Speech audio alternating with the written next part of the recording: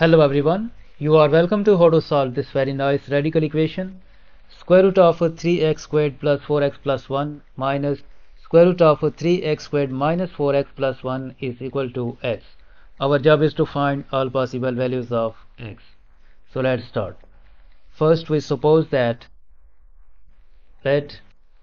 a is equal to this expression square root of 3x squared plus 4 times x plus 1 and b is equal to square root of this expression 3x squared minus 4 times x plus 1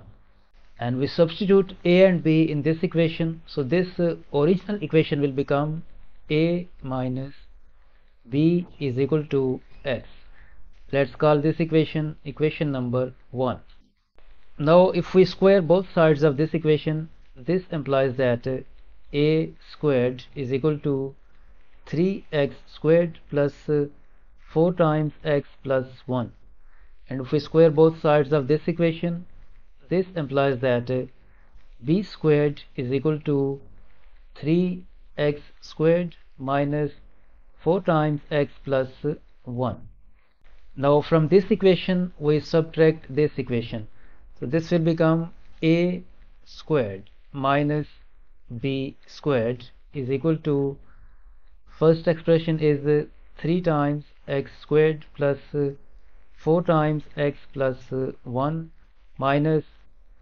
the right hand side of second equation 3 times x squared minus 4 times x plus 1 further simplify this will become a squared minus b squared equal to remove brackets 3 times x squared plus uh, 4 times x plus uh, 1 negative times 3x squared negative 3x squared negative times negative 4x plus uh, 4 times x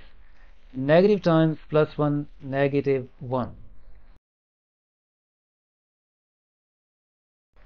now this uh, a squared minus b squared can be factorized as uh, a minus b times uh, a plus b. Equal to from the right hand side this 3x squared will be cancelled out with this 3x squared. This 1 will be cancelled out with this negative 1 and we are left with 4 times x plus 4 times x 8 times x and in this equation we replace this uh, a minus b. A minus b is equal to x.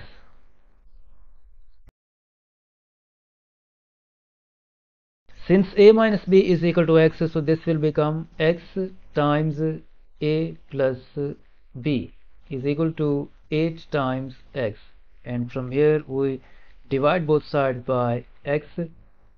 so this x will be cancelled with this x we are left with a plus b is equal to 8 let's call this equation let's call this equation equation number 2 and we recall equation number 1 equation 1 is a minus b is equal to x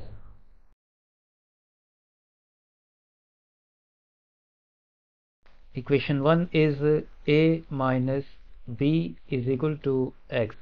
This is equation number 1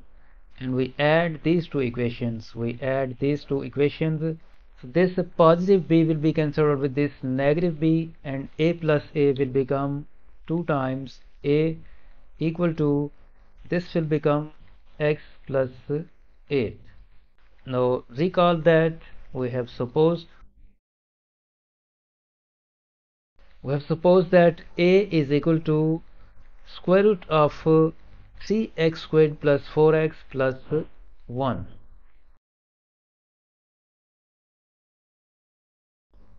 we have supposed that a is equal to square root of 3x squared plus 4 times x plus 1 so we replace this a with this value this equation will become 2 times square root of 3 times x squared plus 4 times x plus 1 is equal to x plus 8 and from here we square both sides. So this left hand side will become square of 2 is 4 times this square root will be cancelled with the square root and this expression will come here 3 times x squared plus uh, 4 times x plus uh, 1 is equal to by using this algebraic identity a plus uh, b whole squared equal to a squared plus 2ab plus b squared. This x plus 8 whole squared will become x squared plus 16 times x plus 64 distribute this 4 this will become 12x squared. And 4 times 4x will become plus 16x 4 times 1 plus 4 equal to x squared plus uh, 16 times x plus uh, 64 now we move this uh, 4 to the right hand side and these two terms to the left hand side. This will become 12x squared. This positive x squared will become negative x squared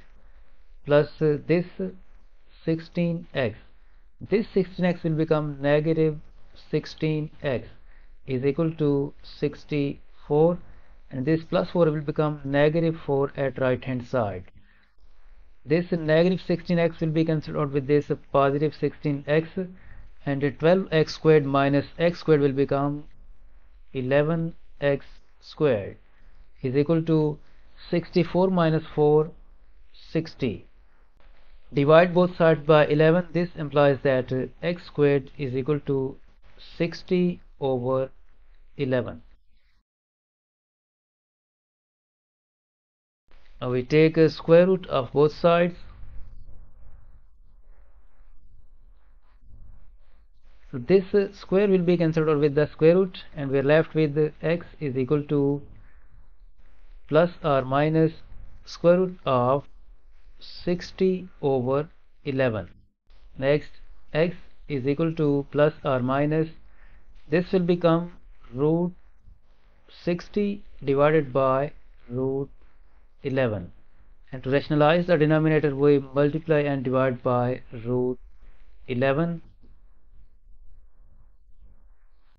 and this will become x is equal to plus or minus square root of 60 times 11 divided by root 11 times root 11 will become 11 next x is equal to plus or minus 60 times 11 will become root 660 divided by 11 from here we get two values of x. X1 is equal to root 660 divided by 11 and x2 is equal to negative root 660 divided by 11 so we have two solutions for this equation